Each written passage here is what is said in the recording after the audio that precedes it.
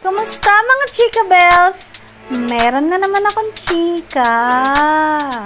Proud na proud ang phenomenal box office star na si Vice Ganda sa tagumpay na tinatamasa ngayon ng isa sa mga itinuturing niyang BFF sa showbiz na si Coco Martin.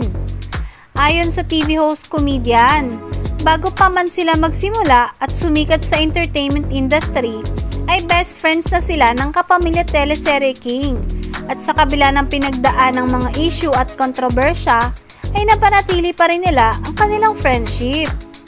Sabi pa ni Vice, super happy siya na hanggang ngayon ay magkasama at nagtutulungan pa rin sina Tutoy at Dengdeng. Ang term of endearment nila para sa isa't isa. Muling nagkita at nagkasama sina Vice at Coco sa live episode ng It's Showtime kasama ang iba pang cast members ng latest ABS-CBN series na FPJ's Batang Quiapo. Pagkatapos ng guesting ni Coco sa It's Showtime, ay naging sentimental naman si Vice sa kanyang tweet nang replyan ang isang netizen na nagpost ng ilang video clips sa Twitter. Napaproud ako sa aming dalawa, sobra.